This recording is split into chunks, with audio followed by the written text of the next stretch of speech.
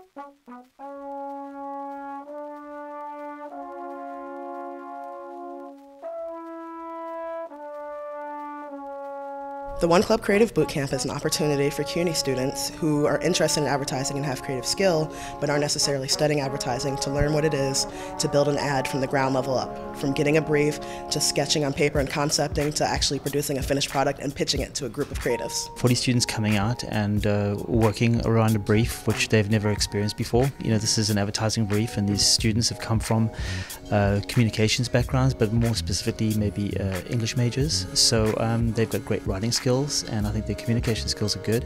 So, you know, getting into the nitty gritty of an advertising brief. I think it's uh, it's real world experience. I think the only way to learn the job is to do the job. They're not really experts in advertising at all, and some of them are pretty fresh to the field. Yeah, it's fresh because the um, these kids haven't been, you know, in, in typical advertising creative programs at school. They've been coming out of marketing programs and um, general college situations. It's incredible to watch the teams come together so quickly. Folks who didn't know each other yesterday are now talking freely and laughing. So much about the job is is really um, based on human nature, you know, getting along with people, um, creating some kind of a bond uh, so that you can collaborate in such a way that's really productive, you know, which which requires people to have respect for one another. And it's uh, what I love about it is it's it's not just about getting a job. It's it's communicating in the real world with mm-hmm. real people. The experience of what it's actually like to be working in yeah. business. If you're lucky enough to have been teamed up with someone for a long time, then that's great too. But usually in life, that's like one in 50 teams. And this is what uh, they're going to have to do, uh, whether they like it or not, is going to be working with a group of people, whether it be the client or fellow, fellow creatives or fellow uh, business people. And uh, you got to kind of get keep the job at, at task and uh, and uh, figure out a way to get it done. So I think it's great that they learn to deal with new people? I actually purposely mixed up all of the different schools and made sure there weren't students come together because I remember college, I remember high school, you get comfortable, you're closed-minded, and you don't, and most people you hang out with have the same thoughts as you. So by forcing them to be in different groups, I think you're teaching them an important life lesson. A very rich variety of ideas that I've seen so far emerged. Um, and I think that's because of their different background. I think there's, it's such a, an interesting um, experience to put them, you know, all together. So their thinking is a lot of times um, outside the box and different mm-hmm. than you would typically get from advertising or design creative students.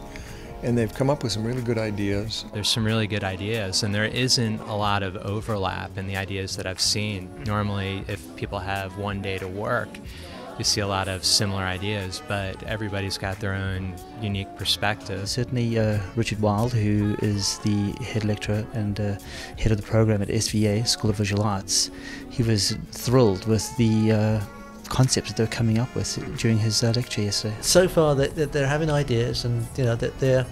Um, it's interesting listening to them battle amongst themselves, and it's just we've had to intervene at one point, just sort of say, even if someone says something stupid, don't cut them off help them along. It's like improv comedy.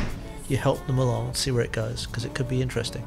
I'd hope we're bringing real world perspective, and if they have questions, we've we've told them nothing's off limits. We feel equal with them, and maybe with a teacher, uh, you get more sense of a, of a hierarchy where the teacher is, you know, the higher level than you, so you know gives you assignment, and sometimes it needs to give you, uh, you know, negative feedback because it's, you know, it's deserved.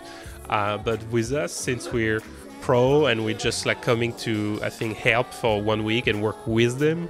Uh, it's it's very different. What we're just trying to do is react to the work like we do within an agency setting, let them present and then ask them questions to have them support their work. And in that sense, they can see whether the idea is strong or not. And with any idea, what we're trying to do is say, okay, let's take it and see how we can make it better. And bring from like level to love level and so that's i think is also a challenge that they embrace uh, uh, pretty uh, you know pretty openly the great thing about it is they're really having fun mm-hmm. and you can tell that the enthusiasm in their eyes and their descriptions of uh, how they're doing what they're doing. They're just voracious. They want to learn.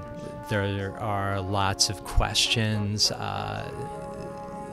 They're really tech savvy. I had some great conversation with some kids, and they're like, "So, you know, how is it?" And the, the real advertising world, and they're really hungry for information and you know to, to discover about this world. Oh, the students are loving having them around and asking the questions, and they're all doing. They're being so patient and doing so well with answering the students' questions and talking to them through the campaigns. And so I think it's amazing, and I'm so grateful that they all took time out of their crazy schedules to be here. For them, I think that's good, but for us, it's also really, really uh, interesting. Whatever energy we give as teachers, we get back too. You know, so it's a joy for us. I, I can remember being in the same situation, and it's nice to try and help out a little mm-hmm. bit when I was a student and I was going around, there were a few people that helped me out, and it's something that I said I would always do. It was like um, I'm going to make sure that I'm, I'm going to be one of those people that that isn't hopefully isn't an ass and is one of those people that makes it easier to get in and that will help you, that will kick your ass, um, but for the right reasons.